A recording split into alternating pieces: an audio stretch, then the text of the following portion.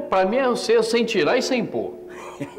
Uai, rapaz, eu tava assuntando ela, parece que eles fizeram a medida de fazer ela, foi em mim É, foi.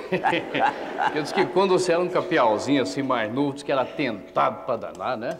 Ih, rapaz, eu era um caboclo gostoso, birrento e teimoso, não obedecia a ninguém, não atendia. E um via me dar um conselho, eu virava a cacunda, largava ele prusiando sozinho. Um vinha me dar um pai pique, entrava numa orelha, saía na outra, era do mesmo tamanho. Eu era do avesso pro mundo mesmo.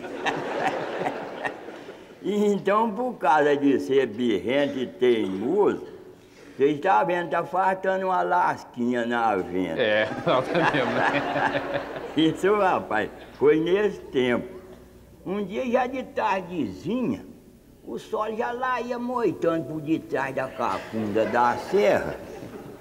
Eu saí na porta, olhei, rapaz, um poiquinho deu de vazar na vara do chiqueiro Ora. e desceu pro lado de uma horta.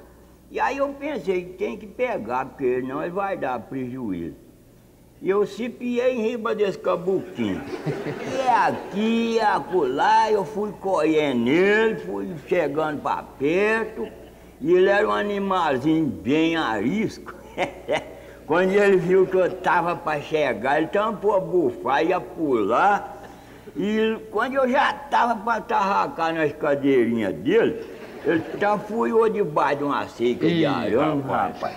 E naquele embalo que eu vinha, quando eu morguei pra passar no vão do arame, eu gastei demais uma feipa veio aí.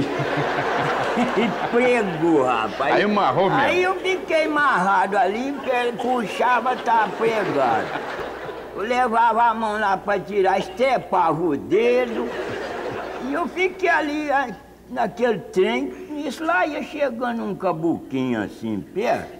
Quando viu naquela maçaroca ali, ele resolveu me dar uma de mão, mas eu já estava enfesado demais. Quando ele falou, para isso, eu falei, não, tô aí, bum, um pedaço ao Era birrento mesmo.